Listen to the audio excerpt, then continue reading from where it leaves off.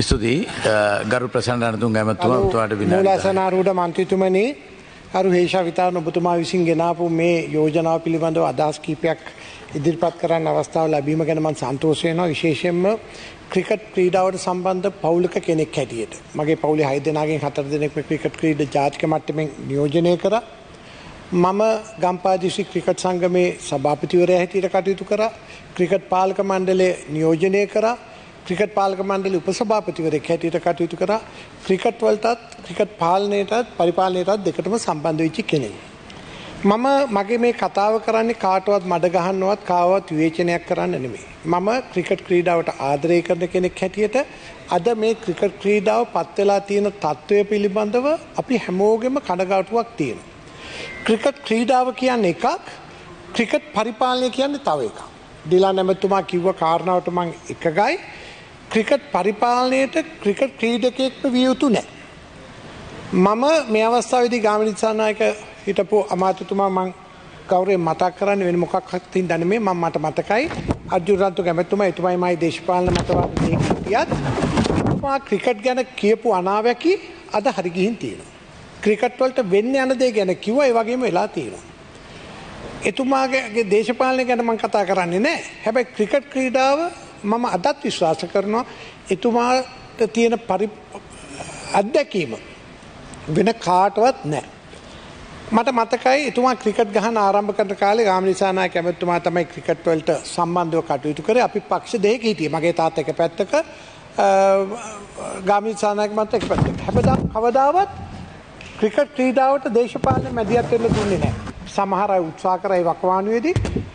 මගේ අර්ජුන රාජුංග මන්ත්‍රීතුමා පළවෙනි ක්‍රිකට් තරගාවලිය ටෙස්ට් ක්‍රිකට් තරගාවලිය තරඟ කරනකොට දෙන්නෙක් අතර තරගයක් තියෙද්දි හැමෝම හිතුවා අර්ජුන රාජුංග ක්‍රිකට් ක්‍රීඩකයාට ඒ අවස්ථාව නැති වෙයි කියලා. හැබැයි පිටින් ඉන්න මයින්ත දිසානායක මැතිතුමා එදා ගාමිණී දිසානායක මැතිතුමා මැදිහත් වෙලා ඒ අවසාන තේරීමට අර්ජුන රන්තුක මැතිතුමාට ඒ අවස්ථාව ලැබුණා. එතුමා ක්‍රිකට් මං හිතන්නේ අර්ධ ශතකයකුත් වාර්තා කරා.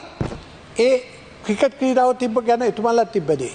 මට මතක ඒ කාලේ ක්‍රිකට් ගහනකොට ගාමදිසානායක මහත්තයා දෙන්නේ නෙස්ටමෝල් ටින් එකක් විතරයි ක්‍රීඩකයෙකුට. සල්ලි තිබුණේ නැහැ ඒ කාලේ. ඉතින් අර්ජුන අයියා ගෙදර ආවම එයා තනියම බොන්නේ අපි හය දෙනාත් එක්කම බෙදාගෙන බොනවා. ඉතින් අම්මලා කියනවා නෑ ඔයාටනේ හොනේ හයිය. ඔයා මේක ගන්න කියනකොට අයියා අපි නෑ නෑ මල්ලිලාටත් දෙන්න කියලා තමයි බෙදා. ඒ වගේ පවුලක ඒ නිසා මම ක්‍රිකට් ක්‍රීඩාවට අපිට පොඩි ලොකු සම්බන්ධකමක් තියෙනවා. ඒ නිසා මට මතකයි ක්‍රිකට් ක්‍රීඩක අර්ජුන රන්තුක මැතිතුමා ක්‍රිකට් ලෝක කුසලානය ගෙනාවේ නිකන් ආපු එකක් නෙමෙයි. ඔය ඇත පැතිවල ගිහිල්ලා ක්‍රිකට් ක්‍රීඩකයෝ තෝරගෙන සනත් ජයසූරිය මහත්තයලා වගේ ක්‍රීඩකයෝ තෝරගෙන කොළඹ ගෙදර නවාතැන් දීලා අපි සාලේ බුදිනවා ක්‍රිකට් ක්‍රීඩකයන්ට කාමරේ දෙනවා මොකද උන්ට පහසුකම් ඕනි කියලා එහෙම තමයි අර්ජුන රන්තුක මහත්තයා ක්‍රිකට් ක්‍රීඩාව වෙනුවෙන් කැපවුණේ.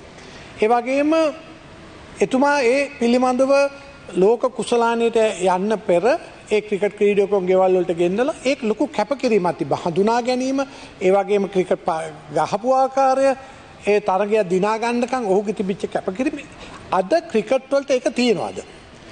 ඉස්සර පාස අපි යෝජනා කර මට මතක ඒ කාලේ අර්ජුන මහන්ත රන්තුක මැතිතුමා පාසල් මට්ටම ක්‍රීඩකයෝ තෝරගන්න ඕනි දිස්ත්‍රික්ක මට්ටමේ පළාත් මට්ටමේ ජාතික මට්ටමට එනකොට ඒ අයට ක්‍රිකට් පන්දු යවන්නන්ට වෙනම පිතිකරුවන්ට වෙනම ඒ වගේ පුහුණු කරන වැඩ පිළිවෙලක් හදවල ඒකට මට මතකයි NCCකද ගාමිනිසානායක මහත්තයලෙවට මැදිහත් වෙලා කටයුතු කර එහෙම ක්‍රමයක් තිබුණා. හැබැයි අද ක්‍රිකට් වලට උඩේ ලෝක කුසලානය තමයි අපිට ක්‍රිකට් වලට වෙච්ච ලොකුම හෙනේ. ලොකුම හෙනේ. ඒකෙන් ප්‍රසිද්ධියක් ලැබුණ බව ඇත්ත. හැබැයි ක්‍රිකට් ලෝක කුසලානෙන් පස්සේ ලංකාවට ක්‍රිකට් වලට සල්ලියනකොට මේකට පෙරේතකාරෝ ගොඩ දෙනෙක් එක වුණා. ඇත්ත කතාව ඕක. ගාමිනිසානායක මහත්තයාලගේ තරගයක් තිබුණේ එතුමා මැදිහත් වුණා අතින් වියදම් කර අති එතන අබු ෆුවඩ් මැතිතුමාලා සල්ලි එක්කහු කරගෙන මෙහිම කාණ්ඩයක් හිටියා. ඒ අය එදා ක්‍රිකට් වලට ආදරයට කරපු මිනිස්සු. හැබැයි ලෝක කුසලානෙන් පස්සේ ක්‍රිකට් වලට සල්ලි එන්න ගත්තම මේකට සල්ලි වලට පෙරවතයෝ ගොඩ දෙනෙක් හිටියා. මේ කොයි ඇමතියාවත් මුලාසනාරුට මන්තිතුමනි වූ අල්ලගන්න ක්‍රිකට පාලක මණ්ඩල ඇත්ත කතා ඕක හැබ මන්දන්න රෝෂාදාසික මැත්තුබට ඒක කරගන්න බැරුණා කවරුවත ඒකට දේශපාලනයන්න ඒකයි මම අද උදේනම් මේ කතාව ලාගෙන හිති ආණ්ඩු පක්ෂ විපක්ෂ හැමෝම මේ ක්‍රිකට් පාලක මණ්ඩලේ දේවල් ගැන විවේචනය කරා. මේකට දේශපාලනයක් නැහැ. මේකට අපි තියෙන්නේ අර සජි ප්‍රේමදාසගේ මහත්තයා කියන හැමදේටම මම එකක කෙනෙක් නෙමෙයි. හැබැයි එතුමා යම් කාරුණු කාරණා කිව්වා ක්‍රිකට් වලට සම්බන්ධ එතුමයි මයි එතුමා රොයල් එකේ කැප්ටන් කරනකොට මම ආනන්ද ක්‍රිකට් කැප්ටන් කරේ. ඒ නිසා සමහර කාරණා පිළිබඳව කරුණු තියෙනවා. ඒ නිසා ක්‍රිකට් පාලක මණ්ඩලේ මට ක්‍රිකට් එපා වුණේ ක්‍රිකට් පාලක මණ්ඩලේ ඉද්දි. මම උපසභාපතිවරයා හැටියට ඉද්දි ඔය ක්‍රිකට් පාලක මණ්ඩලේ වෙන හොරකම් දිහා මම දැක්කා. මගේ වැඩිමල් සහෝදර ක්‍රිකට් පාලක මණ්ඩලේ CEO හැටියට හිටියා. මම උපසභාපතිවරයෙක් හැටියට ඉන්නකොට මේකේ හොරකම් වෙනකොට මම ගිහිලා එක අවස්ථාවකදී මගේ ලොකු අයට කිව්වා අයියේ මේකේ මහා හොරකම් ඉන්න ඔයා එහෙම කොළවලට අස්සම් කරන්න එපා මහා භයානක දේවල් වෙන්නේ කියලා. එතකොට යක පිස්සුද ප්‍රසන්න මේක එහෙම කොහොමද වෙන්නේ කිව්වා. ටික දවස් මං ඉව්වා කාගේ නංගන් කියන්නේ හැබැයි වෙච්ච දේ ගැන දන්නවා කවුරුත් අන්තිමට ධම්මික රන්තුක මහත්තයට ක්‍රිකට් පාලක මණ්ඩලයෙන් අයින් වෙන්න ඕනේ. ඒ කාලේ ක්‍රිකට් වල හොඳ ස්වර්ණ යුගයක් තිබුණා. ඔය ක්‍රිකට් ටීවී රයිට්ස් වලින් තමයි වැඩියෙන්ම හොරකම් කරන්නේ. ඊළඟට ක්‍රිකට් පාලක මණ්ඩලයේ සභාපතිවරු කවුද ඇමතිවර කවුද බලය තියෙන්නේ ඒ පළාත් වලට ක්‍රීඩා පිටරි දෙනවා දීලා ක්‍රිකට් ක්‍රීඩාව දියුණු කරන්න නෙමෙයි තමන්ගේ පැවැත්ම උදෙසා. අද ක්‍රීඩා සමිති ගම්පා දිස්ත්‍රික්කේ ක්‍රීඩා සමිති ගම්පා නියෝජනය කරන්නේ ගම්පායද? නෑ. මෙව්වා මෙව්වා වෙනස් කරන්න ඕනි අගරු අධිකරණ ඇමතුමනි මේ පා මෙව්වල ක්‍රිකට් ක්‍රීඩාවට සම්බන්ධ. ක්‍රිකට් ක්‍රීඩාව එකයි ක්‍රිකට් පාලක මණ්ඩලය එකයි. පාලක මණ්ඩලයට හොඳ කළමනාකරුවන් අවශ්‍ය කරන්නේ. ක්‍රිකට් වලට ආදරේ මිනිස්සු මෙව කරන්නේ කොහොමද කියන එක. දැන් ඒ සම්බන්ධව මෙතන මම දැක්කා ජාතික විකිරණන කාර්යාලයේ කෙටුම් පතක් දාලා මං කියන්නේ මේ තියෙන ඔක්කොම ඇත්ත කියලා. මොකද මේ කෙටුම් පතක් විතර මේක ඔඩිට් කොරිය එකක් විතරයි කොරියකට උත්තර දීලා මේව නිවැරදි නම් ඒක නිවැරදි භාවය සහවුරු කරන්න ඕනේ. හැබැයි මට මතකයි එක අවස්ථාවකදී මේ ක්‍රිකට් පාලක මණ්ඩලයේ ඔය නීති රීති වල තියෙන ඔඩිට් එක දුන්නේ නැත්නම් තරඟ කරන්න බෑ. ඉල්ලන්න බෑ. හැබැයි අවාසනාවකට සමහර අවස්ථාවන් වලදී බැක්ඩේට් කරලා ගැසට් ගහලා එයාට තරඟ කරන්න අවස්ථාව ලබා දීලා කටයුතු කරපු අවස්ථා තියෙනවා. එව්වා එහෙම වෙන්නේ ඒ පාලක මණ්ඩල අයල සම්බන්ධතා උඩ. ඉති එව වැරදි. ඒ නිසා මම අපි යෝජනා කරන ක්‍රිකට් ක්‍රීඩාව දියුණු කරන්න ක්‍රීඩකින් සමන්විතව ක්‍රීඩකයෝ ටික එක්කව් කරගෙන ලෝක කුසලාන දක්ෂතා තියෙන අය ඉන්න ඒ අයව සම්බන්ධ කරගෙන ක්‍රිකට් ක්‍රීඩාව දියුණු කරනවා වගේම ක්‍රිකට් පාලක මණ්ඩලේ පාලනයට හොඳ සුදුසු පුද්ගලයෝ පත්වෙන වැඩ පිළිවෙලක් හදන්න ඕනේ. ඒකට මේ මං සමහරය දැක්ක අහවල් තැනින් ස්වාධීන පත් කරන්න ඕනි එහෙම එහෙම බෑ. හොඳ ක්‍රිකට්වලට ආදරය කරන ව්‍යාපාර දැනුමත් තියෙන කල්මනාකාරිත්වය පිළිබඳව දැනුමත් තියෙන අය පත් කරගන්න වැඩ පිළිවෙල. ඒ කාලේ ක්‍රිකට් පාලක මණ්ඩලයට පත් කරද්දී අර ආණ්ඩුක්‍රම ව්‍යවස්ථාව සංශෝධනය වෙලා තියෙන ගරු මූලසන අරුණ මන්ත්‍රීතුමනි පක්ෂවල ආණ්ඩුවල උමනාවක් අඩුව. ඒ පක්ෂවලට අවශ්‍යතාවයක්. ඒ වගේ තමයි ක්‍රිකට් පාලක මණ්ඩල ව්‍යවස්ථාව හදලා තියෙන්නේ එක එක කාලවල වලට ක්‍රිකට් වෙන උන්ට එන්න බැරි වෙන විදිහට ඒ විදිහට හදපු දෙයක්. ඒ නිසා දැන් මේ ඔඩිට් කොරියක සම්බන්ධව අපි දැන් ඇන්ටි කරප්ෂන් බිල් එක ඒ වකවානුවේ මහින්දානන්ද ඇමතුමා මේක ඉදිරිපත් කරා. අද ඒක ක්‍රියාත්මක වෙනවද? නැහැ. එහෙමනම් කරන්න ඕනි මේක හොරකම් වෙනවා නම් හැමෝටම හොරා කියන්නේ. නැතුව ඇන්ටි කරප්ෂන් යුනිට් එකක් පත් කරලා හොඳ නිලධාරින් දාලා පරීක්ෂණයක් කරලා වර්ධිකාරයන්ට දඩුවම් දෙන්න වැඩ පිළිවෙලක් හදන්න. ඒ වගේම ඔඩිට් එක සම්බන්ධව ගැටලු තියෙනවා නම් ඒ මේ දැන්ට මේ ෆොරන්සික් ඔඩිට් එකක් කරලා මොක දෙකට කියන ව්‍යවහාරික විගණනයක් කරලා කරන්න කටයුතු කරන්න.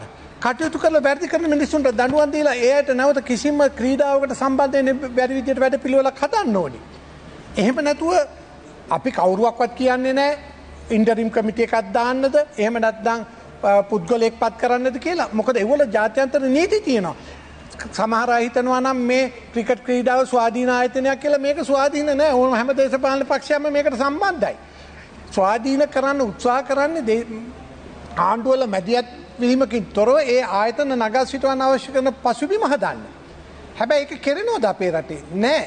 ඒ නිසා එහෙම කරන්න පුළුවන් පරිසරයක් හැදෙන්න ඕනි මේ ක්‍රිකට් ක්‍රීඩාව තුළ. එහෙම නැත්නම් මේ ක්‍රිකට් පරිපාලනයට මේ ලැබෙන මුදල් ප්‍රමාණය නැතුණොත් නැවත අපි මුල් තත්ත්වයට වැටෙනවා. අපි විශ්වාස කරන අපිට එහෙම කරන්න හැකියාවක් තියෙනවා. මම ඇමතුමාට කියන්නේ මේ අද බොහෝ දෙනෙක්ගේ අදහස් ඉදිරිපත් වුණ කතා කරන්න ICC එකට කතා කරන්න අධිකරණ ඇමතුමාව මැදිහත් කරගන්න විදේශ කටයුතු ඇමතුමාව මැදිහත් කරගන්න ක්‍රීඩා ඇමතුමා මැදිහත් වෙලා අද මේ පාර්ලිමේන්තුවේ කතා කර පක්ෂ වේදකින් තොරව හැම දෙනාගේ බෞතරගේ මත වුණ එක ඒ සම්බන්ධව ICC එකත් එක්ක කතා කළ කටයුතු කරන්න පුළුවන්. මම ක්‍රිකට් පාලක මණ්ඩලේ ඉද්දී මම ගහපු ලිපිකණුවක් නිසා තමයි එවකට හිටපු සභාපතිතුමාට අදටත් ICC එකට යන්න බැරි. ඒ නිසා මම විශ්වාස කරනවා ඔබතුමල්ලා ඒ මේ යෝජනාව ප්‍රෝජනයක් ගන්න. මේ යෝජනාව ප්‍රෝජනයක් ගන්නිකන් කතා කරපු දෙයක් බවට විතර පත් කරන්නේ නැතුව මේ සම්බන්ධව වැඩ පිළිවෙලක් හතලා ජාතයන්තර ක්‍රිකට් කවන්සිලත් එක සාකච්ඡා කරලා ඒ මේ වගේ නීතිරීති ඒ ජාත්‍යන්තර නීතිරීති ලංකාවට බලපාන්න ඇන්ටිකරප්ෂන් වැඩ පිළිවල මෙහට කරන්න බැරින අපිට ගැලපෙන එකක්. හදලා මේ පිළිබඳව කටයුතු කරලා ක්‍රිකට් ක්‍රීඩාව නැවත අර දිලා නැමැත්තුමා කිවවාගේ ක්‍රිකට් කියන්නේ ආගමක් බවට පත් වෙලා. අපේ ජාතික ක්‍රීඩාව මොකක් වුණත් පොලිබෝල් වුණත් පොලිබෝල් එකේ මගේ පියත් සභාපතිවද හැටියට කතිකර අපි ක්‍රීඩාවට සම්බන්ධ පවුල. ඒ නිසා මේ ක්‍රීඩාව ජනතාවගේ මේ ශ්‍රී ලාංකිකින් ආදරය කරන ක්‍රීඩාවක් ජනතාවගේ හදවත වගේ තියෙන එකක්. ඒ නිසා මේ සම්බන්ධව සියලු දෙනාගේ අවධානය යොමු කරලා රටේ අවධානය යොමු කරන්න මේ පාර්ලිමේන්තුවේ අද දවසේ කටයුතු කරන්න ලැබුණා. ඒක ඔබතුමාට ස්තුති කරමින් මම නිහඬව බොහෝ ස්තුතියි. සුතිකරු එමතුමා වෙනට ගරු දෑසිරි ජයසේකර මන්තුමා බුතුවාට විනාඩි හතක කාලයක්. ගරු මුලසරන් මන්ත්‍රතුමනි මම කනගාටු වෙනවා අද මම විනාඩි දහත් දොලා කිල්ලු අපේ විපක්ෂයෙන් නමුත් විනාඩි හතක් දාලා තිබුණ. හිටපු ක්‍රීඩාමත්වරයෙක් ඉදිට කතා කරන්න. මහිතනවා කිරියල් ඇමතුව තින නිසා තව විනාඩි කීපයක් අපිට දෙයි කියලා. කෙසේ වෙතත් ම මූලික කරුණු කීපයක් මතු කරන්න කැමති